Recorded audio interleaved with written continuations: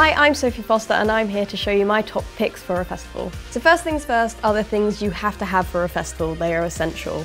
Firstly, we have makeup wipes. They are just really handy to have with you to wash, to clean yourself, to just be a little bit more cleaner during the day. And of course, we're gonna need our dry shampoo for you boys and girls out there to keep our hair looking lovely and fresh over the weekend. So I know it's a little bit boring, but next is hand sanitizer, which is very much needed when you're coming near those horrible toilets. My last pick is SPF, which is great for when it's those sunny days at a festival. Also, this is transparent, which means it's not gonna mark your clothes. And look at this, this is from Superdrug, and it is a SPF 20 shimmer oil spray, which is perfect for festivals. I'm gonna try it on my arm.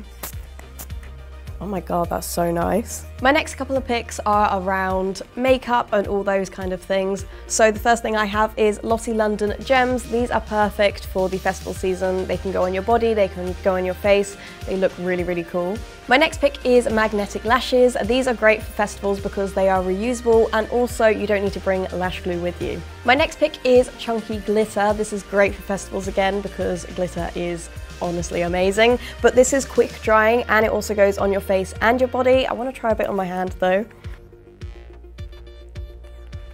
Oh my gosh, that's so pretty. So this is really quick drying and I would put this more on my collarbones or my shoulders, just around this area because it looks absolutely gorgeous.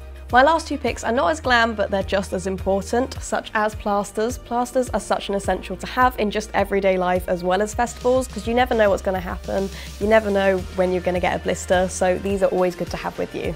And the last is just as important, and just in case, a condom. And those are my top picks for a festival. Comment down below any other essentials you think you should bring to a festival, and also hit subscribe to make sure you don't miss any videos from Superdrug, and hopefully they will see you again very soon.